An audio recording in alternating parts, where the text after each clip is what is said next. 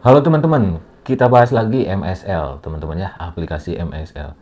Ada requestan dari teman-teman semua mungkin subscriber atau follower saya di Facebook, di Instagram gitu ya. Yang minta saya untuk membahas satu orang leader, leader MSL Group atau MSL App atau bisa disebut juga MSL Influence Impact. Mereka sebutnya kayak gitu ya.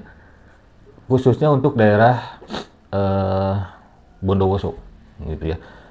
Katanya dia itu paling paling cinta mati kan kayaknya kata teman-teman semua ya yang ngirim informasi ke saya.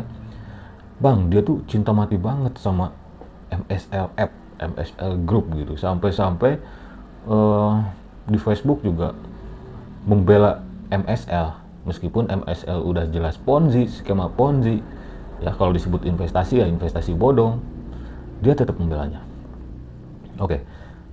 uh, eh, mungkin yang ini nih MSL uh, apa leader MSL untuk daerah Bondowoso itu. Wah paman ya. Oke. Si paman ini dari bajunya saja MSL Group. Wah mantap paman. Semoga anda kaya dari MSL oke saya doain. Dan di sini postingan-postingannya ini ada ya. MSL Go Public Bondowoso. Wah ini uh, YouTube nih di share di Facebook Terus di sini social community. Oke, bulan-bulannya bulan ya masih deket lah bulan Meian ya. Nah, My Day Bondowoso go public katanya. Go public atau go scam paman? Aku bertanya itu. nah, terus yang paling keren di sini, yang paling kerennya ya. Yang paling kerennya ada mungkin di komentar ya, ada yang uh, bilang komentar udah di screenshot tinggal tunggu waktu jangan jangan akun ya. Hmm, maksudnya apa ini? Siap-siap bangkrut untuk mengganti kerugiannya para korban. Oh gitu ya. Terus di sini si paman yang tadi paman leader MSL ya. Ia kirim nomor akun dia. Aku akan klarifikasi ke dia langsung dan perusahaan MSL kalau benar dia posisi sebagai korban maka aku siap mengganti rugi kata dia tapi dengan syarat dia dipecat dari MSL tanpa kesalahan dan melanggar aturan. Uh, yang ada di perusahaan karena 12 bawahannya yang dipecat MSL karena kesalahannya dan yang tidak bersalah karena terlibat komunikasi. Diperjuangkan katanya ya. Uang depositnya dikembalikan. Wah keren. Keren si paman ini.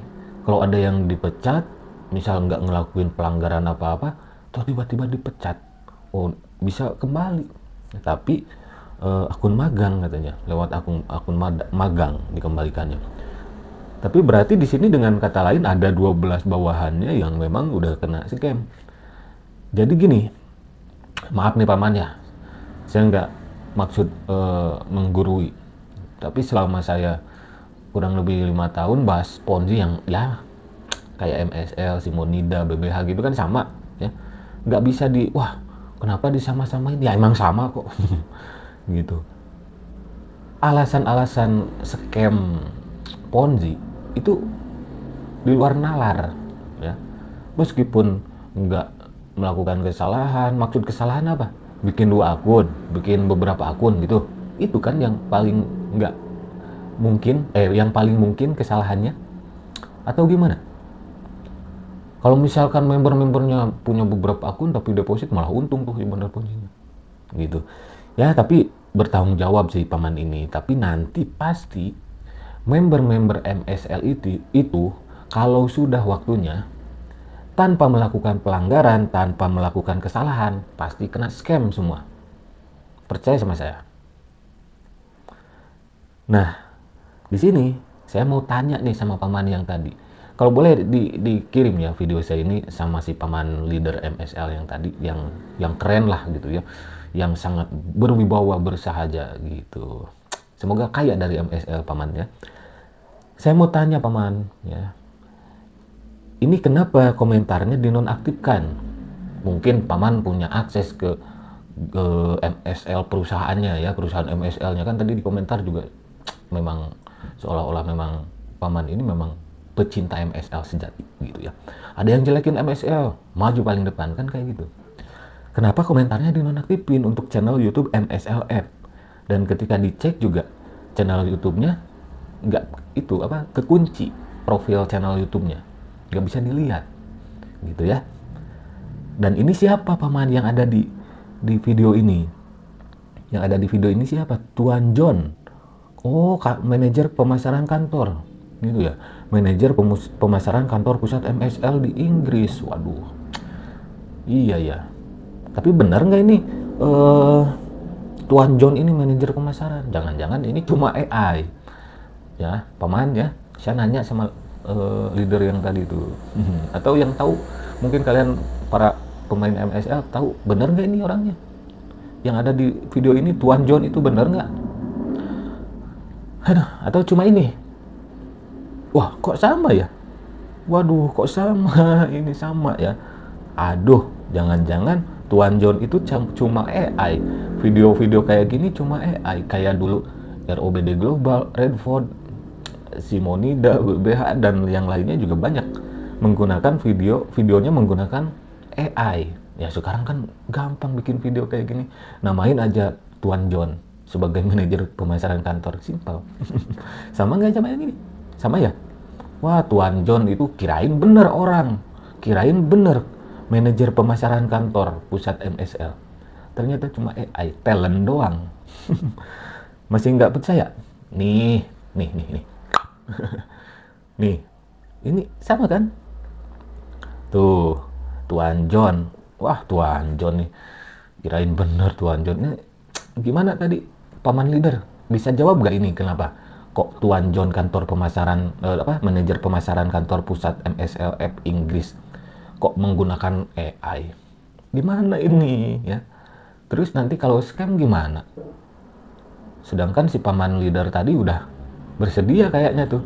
Kalau ada apa-apa khususnya mungkin di daerahnya dengan syarat member yang dipecat atau apalah gitu pecat kena scam tanpa melakukan kesalahan bisa bantu katanya sedangkan nanti aplikasi seperti ini kalau scam membernya tanpa melakukan kesalahan pun bakal kena scam wah ya semoga enggak bangkrut aja lah pamannya oke sampai jumpa lagi di video selanjutnya.